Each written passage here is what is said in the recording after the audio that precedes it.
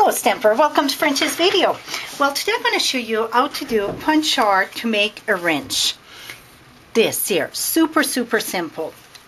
And what you, excuse me, what you're going to need it's the brush um, silver, the cardstock, the brush silver, 1 and 3 8 punch, 3 quarter punch, excuse me, and the itty bitty uh, punch pack and we're using that little flower in it.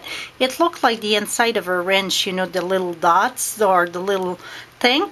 And then we're going to need the I forgot to bring it down the window uh, punch. So let's get started.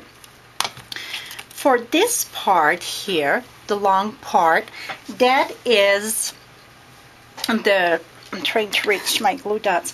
That is three and three quarter and uh, three and a quarter long and the width it's only three eighths uh, long uh, the width is three eighths.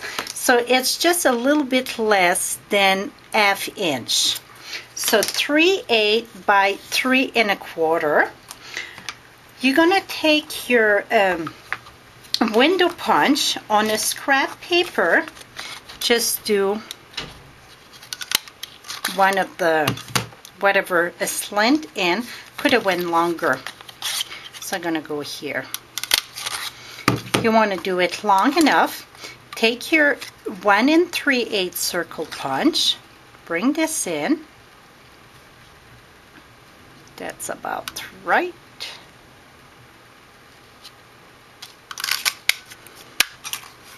Voila. Now you get this part then you're going to take your another piece of scrap. I think I get enough on this one. You're going to take your bitty punch first, the little flower. Punch this in. Then take your three quarter circle. Put that in the center. Now you get the other part. Now what I'm going to do, it's sponge. I'm going to use the uh, the gray ink and I don't see it. My basic gray. It have to be right in front of me and I cannot see it for some reason. Well, we're going to use basic black. Usually I use the, the basic gray. I'm going to use the black for now? And then you're going to sponge around this. It's just give a little bit more uh, 3D look. Really black or going uh, basic gray, it's about the same. It's just a little bit darker. This here, I just push it down, go inside a bit. Then I'm going to reverse this here.